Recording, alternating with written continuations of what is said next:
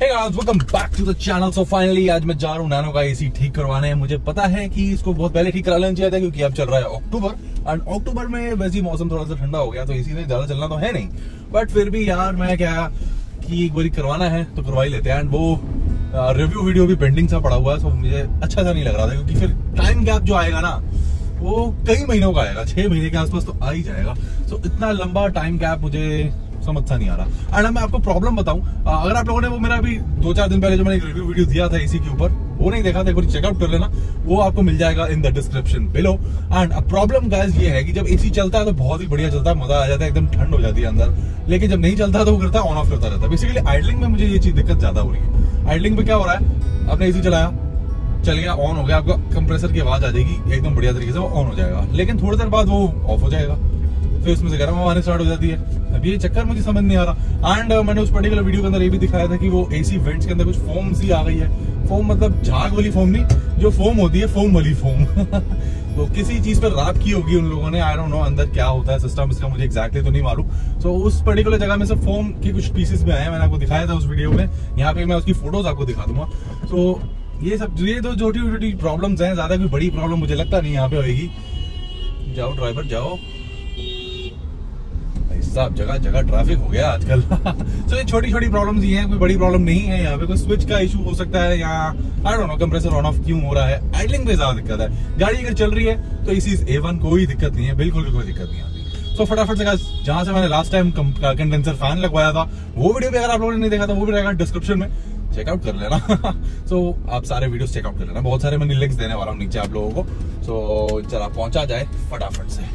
यार ये कहाँ कहाँ से निकल के आते हैं लोग? भाई साहब, अभी ठुकता स्कूटी वाला। रॉन्ग साइड से आ रहा था। डैम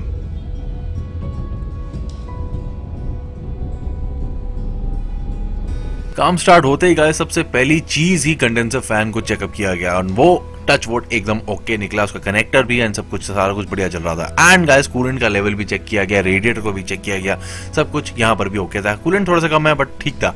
सबसे फिर यहाँ से निकाला गया हमारा एसी फ़िल्टर एसी फ़िल्टर भी काफ़ी हद तक क्लीन ही था मतलब थोड़ा बुरा हाल नहीं था उतना जितना हो सकता है। एसी फ़िल्टर को एकदम बढ़िया तरीके से क्लीन कर दिया। Pressure washing it is boys and girls so अब कंडेंसर फ़ैन को भी प्रेशर वॉशर से एकदम सही से क्लीन कर दिया गया, बहुत ही अच्छे तरीके से अंदर वाली साइड से भी एंड देन बाहर वाली साइड से भी, जो कि आप अभी अपनी स्क्रीन पर देख ही रहे हो।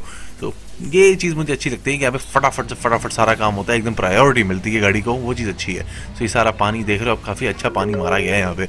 एंड अंदर अब ये एक बहुत ही इंजीनियस सा जुगाड़ यहाँ पे मैं देख रहा हूँ। सो पहले कूलिंग कॉइल को क्लीन करने के लिए गायस बहुत ज़्यादा मुसीबत होती थी कि कई सारी चीज़ें खोलनी पड़ जाती थी, कहीं कार्स के अंदर। डैशबोर्ड भी उतारना पड़ जाता था बट यहाँ पे प्रेशर वॉशर के साथ ही एक पाइप कनेक्टेड है, जिसके आगे का एंड जो है, वो मेटल का कस्टम डिजाइंड है। वो जो आप देख रहे हो अभी स्टील का या पता नहीं जिसमें मटेरियल का है। आई नो कि थोड़ा सा कारपेट वगैरह यहाँ पे पानी से भर ज़रूर गया, पर वो क्लीन करना ईजी था, पूरा डैशबोर्ड खोलने से। सो अब ये जो पाइप है, आप ये देख रहे हो, ये सीधा जहाँ पे एसी फ़िल्टर लगा होता है, उस जगह पे चली जाती है।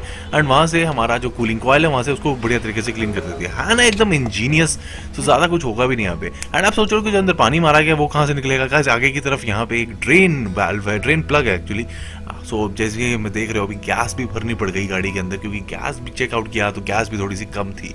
तो ये देखो गैस यहाँ से पानी निकल रहा है। तो सारा अंदर का पानी जो था वो यहाँ से बाहर आ रहा है और यहाँ से गैस गैस को भरा जा रहा है। so, गैस फिफ्टी परसेंट के अराउंड थी सो ठीक है।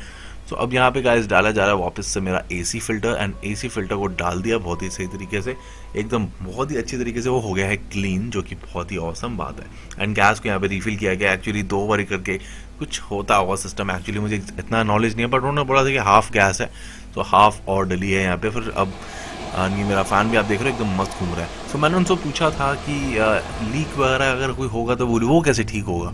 तो उन्होंने कहा कि उसके लिए पूरी टोटल गैस निकालनी पड़ती है सो वो बाद में देखेंगे। अभी ऐसे काम हो जाएगा हमारा एंड वाल्व को चेक कर लेंगे। एंड आप देख ही रहे हो थर्मोमीटर भी ऑलरेडी लग चुका है नानों में।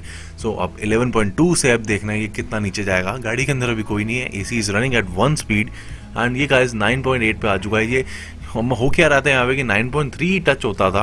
जैसे ही 9.3 टच होता था एसी कट ऑफ़ मार देता था।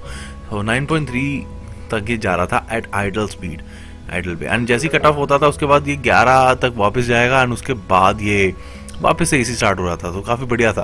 तो ये गैस का काम कंप्लीट हो गया। एंड उन लोगों ने फिर अच्छी तरह से इसके जो वाल्व है इनलेट एंड आउटलेट का, वो भी चेकआउट किया था। उसके बाद चेक किया गया कि उसके अंदर कोई लीक तो नहीं है। सो कोई लीक तो नहीं मिला। अब ये देखो, यहाँ पे मैं आपको दिखाई देता हूँ वो चीज़ भी।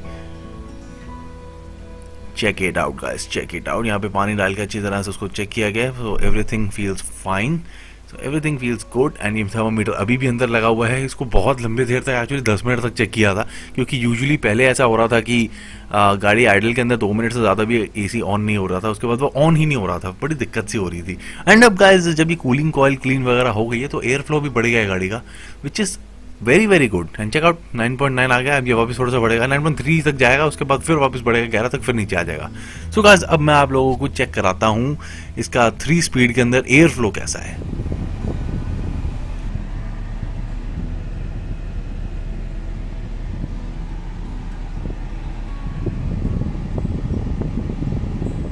ऑलरेडी गाइस तो इसी का काम हो गया है।